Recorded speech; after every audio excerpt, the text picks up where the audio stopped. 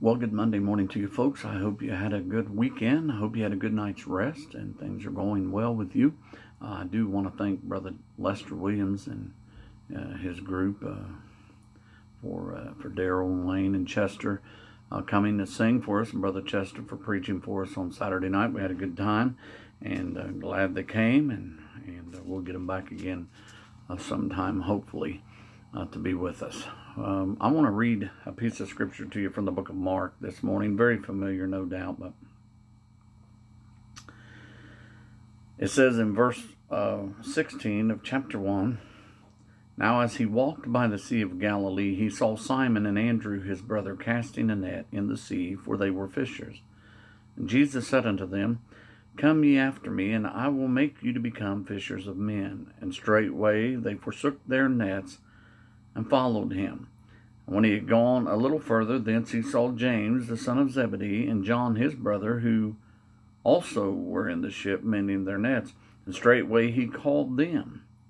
And they left their father Zebedee in the ship with the hired servants and went after him.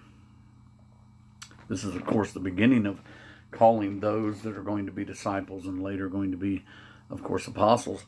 Um, and as he calls them, we don't see an argument out of them. They just see that they left everything, even left left the father in the ship with the servants, and they went after him because there was something different. There's always something different about Jesus, and when Jesus calls, if we will follow, our life won't always be pain free, and it won't always be trouble free but it will always be blessed by the hand of the Lord if we will just follow Him where He would lead us.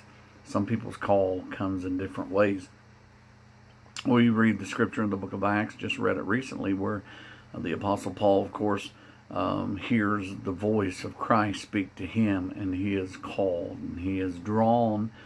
Um, then through uh, his uh, the salvation process, he then is set out as a um, uh, apostle to the Gentiles to be a witness to them. I don't know when it was that uh, you were called um, to come and to give your life to the Lord, but my dad used to sing this song. I've sung it before. I don't think I've ever sung it on a devotion, but there is a video that I uh, have recorded. Actually, if you wanted to, you can look up under Wayne Vastine and find a video on my channel of him doing this song. It's not a very good quality of video as far as uh, old VHS, but um, you will hear a better version of him doing it than me. But it was always one of my favorite songs when I was a kid. It's a Marty Robbins song. It is um, uh, a song that was on his Gunfighter Ballads album. And as a kid, I like those cowboy songs anyhow. So, uh, but this song talks about the Lord calling and us answering. When I was but a young man, I was wild and filled with fire. A youth within my teens, but full of challenge and desire. I ran away from home and left my mother and my dad. I know it grieved them so to think their only boy was bad. How many times we robbed and plundered, I could never tell. This kind of simple living needs only to fall. I learned this much and more the night I heard the master call. One night we wrestled cattle, a thousand head or so, then started them out on the trail that leads to Mexico. A norther started blowing, lightning flashed about. I thought someone was calling me, I thought I heard a shout. Then at that moment, lightning struck not twenty yards from me, and left there was a giant cross where once there was a tree. And this time I knew I'd heard the voice, the voice so soft and strange. A voice that came from everywhere, a voice that called my name. So frightened that I felt to see the cattle start to run. The cattle they stampeded were running all around. My pony ran and stumbled, and he threw me to the ground. I felt the end was nearing, that death would be the price. When a mighty bolt of lightning showed the face of Jesus Christ. I cried, Oh Lord, forgive me, don't let it happen now. I want to live for you alone, oh God, these words I vow. My wicked past unfolded, I thought of wasted years.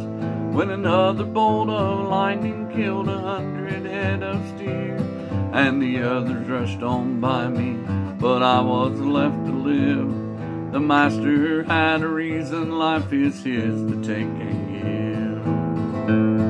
A miracle performed that night, I wasn't meant to die. The dead ones formed a barricade, at least six or seven high.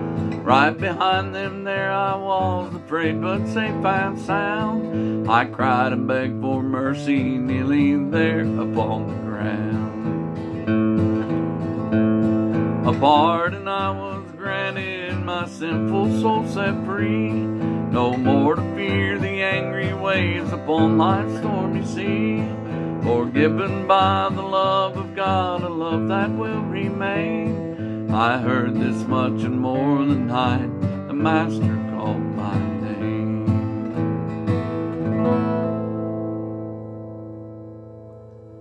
Lord, we thank you for the call in our lives, Lord, for the call to repentance and for every other time that you've spoken with us, Lord. We thank you for that. Thank you for the opportunity uh, to hear that. And we know that we weren't worthy, Lord, but you would take our unworthiness, you would forgive our sins, Lord, and you would use us in the way that you would have us to be used. We love you, Lord. We thank you for all you do for us in Jesus' name. Amen. God bless you, folks. See you Tuesday.